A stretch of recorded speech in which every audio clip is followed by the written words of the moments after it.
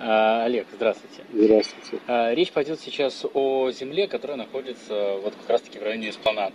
Уже довольно скандальная Да. земля. И сейчас подтвердите, либо опровергните, и вообще расскажите, как на самом деле есть, потому что мы имеем информацию от господина Элксенча следующую что в Думе есть документы, конкретно ваше предложение. Это то, что кусок земли в размере 6 тысяч квадратных метров э, вы предлагали Думе приобрести за 80 тысяч евро.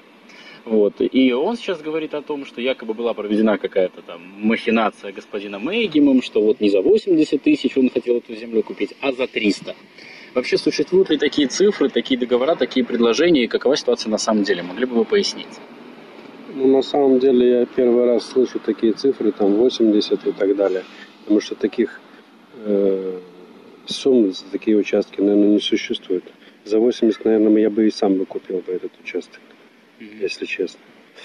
А был разговор, что они хотели приобрести 5 метров там полоску. Это 400 квадратных метров.